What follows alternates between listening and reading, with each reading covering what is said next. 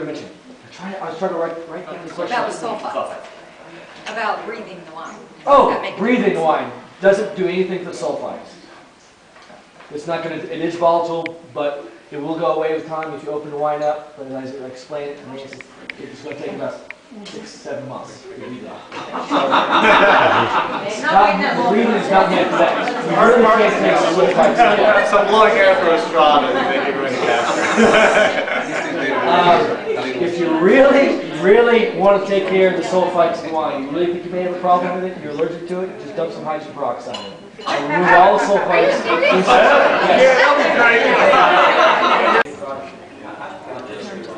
It actually converts the hydrogen peroxide oxidizes the alcohol, ethanol, to acid alcohol, which is that brown leaf pumpkin smell that you smell in red wines when they've been aged 20 years.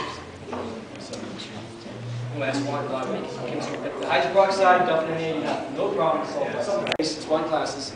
Um, It's nice to have wines in there that are really assertive in certain areas, that are, for example, a wine that has a lot of of fruit, varietal fruit specific to that character, Cabernet Sauvignon, bell pepper, the butter, green apple, Chardonnay.